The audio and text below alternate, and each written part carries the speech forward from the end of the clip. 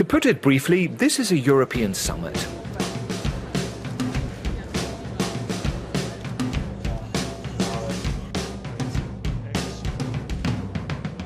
But before we get to the flesh and bones of what the European Council is, you need to remember that the European Council has nothing to do with the Council of Europe.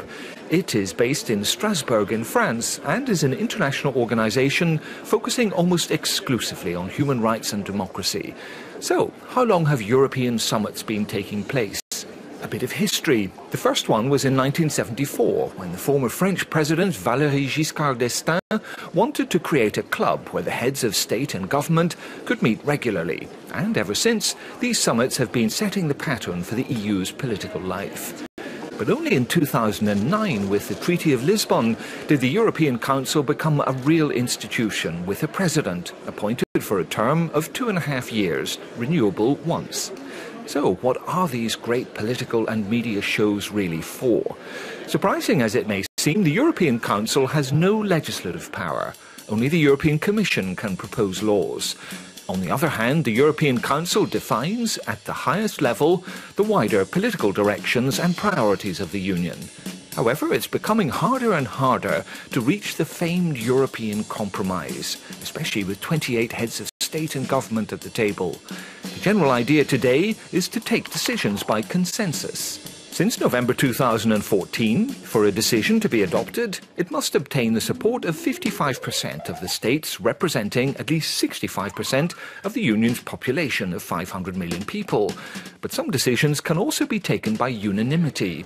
By extension, that means each state has a right to veto on some issues.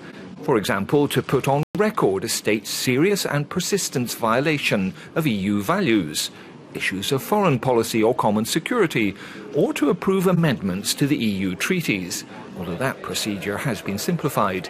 But let's come back to European summits. In reality, a major part of the negotiations takes place well before the summit.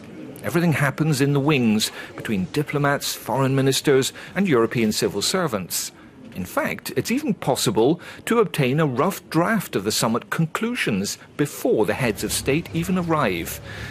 So, how do journalists get informed when the discussions are held behind closed doors? They don't. They have to wait until the conclusion of every EU summit, often for hours. But in truth, the debates are never totally secret.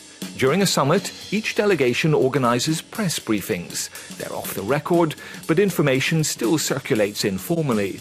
And for those who can't get to summits, social media has stepped in.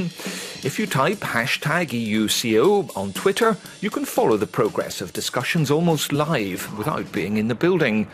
Talking of buildings, the heads of state used to meet here in the Justus Lipsius building, but from now on they will also meet in the Europa building in Brussels.